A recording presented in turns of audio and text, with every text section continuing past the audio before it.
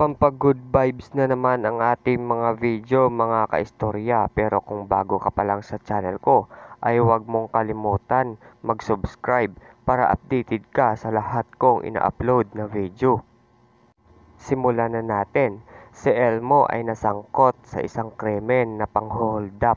Binisita siya ng kanyang asawa sa loob ng kulungan pero sa loob ng pitong taon ay si Elmo muling nakalaya Naging masaya na si Elmo sa kanyang pamumuhay kahit driver lang siya ng jeep. Si Arthur naman ang kaisa-isang ninong ng kanyang anak. Pero hindi naman binibigyan ni Elmo ng Malaysia. Naranasan din ni Elmo ang pangungutong ng mga tauhan ng ninong ng kanyang anak.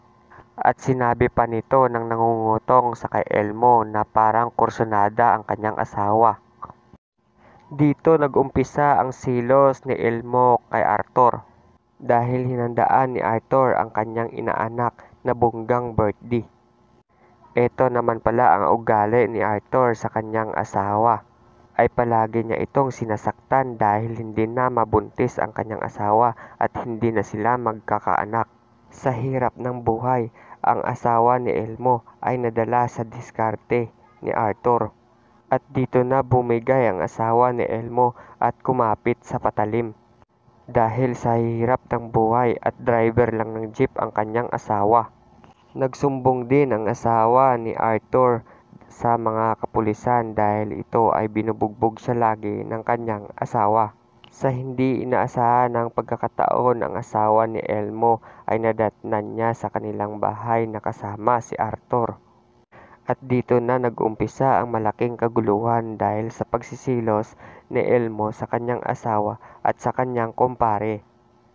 Dahil sa kanilang pag-aaway kinabukasan, ang kumpare ni Elmo ay natagpo ang patay sa tabing ilog. Hinuli si Elmo ng kapulisan dahil siya ang pinagbintangan na siya ang pumatay sa kanyang kumpare. Dahil sa pangbubugbog ng kapulisan at pinipilit siyang paaminin na siya ang pumatay, ay inamin niya na lang na siya ang pumatay sa kanyang kumpare. Dahil sa sakit ng kalooban ni Elmo, ay naramdaman niya ang matinding pagsubok sa loob ng kulungan. Napag-isipan ni Elmo na tumaka sa loob ng kulungan dahil hindi niya nakaya ang pagtrato sa kanya sa loob ng kulungan at dito siya hinahanap ng alagad ng batas na kasama ang kanyang mag-ina.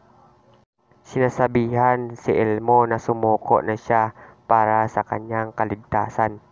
At nakinig naman si Elmo sa kanyang mag-ina at sa pulis na siya ay susuko ng maayos.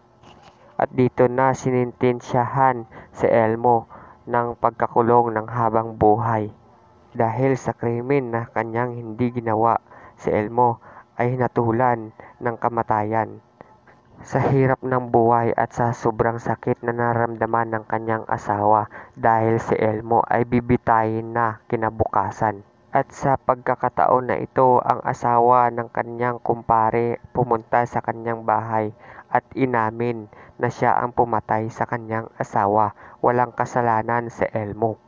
At dito na laking gulat ng asawa ni Elmo sa oras na ito, si Elmo ay ginugupitan na at pagkatapos nagdasal siya sa harap ng maraming pagkain na binigay sa kanya. Si Elmo ay kawawa, walang kasalanan. Binisita siya ng kanyang asawa at siya ay umiiyak na lamang dahil ayaw niya pang mamatay. At sa huling pagkakataon, nakausap niya na ang kanyang mag-ina. Dito na siya dinala ng kapulisan para bitayin. Pero may tumawag sa kanila na isang presidente na huwag ituloy ang bitay dahil si Elmo ay walang kasalanan. At sa pagkakataon na ito ay si Elmo napatunayan na siya ay walang kasalanan. At dito na muli mag-uumpisa ang pamumuhay ng kanyang pamilya. Maraming salamat sa bawat nakikinig at nanonood ng aking video.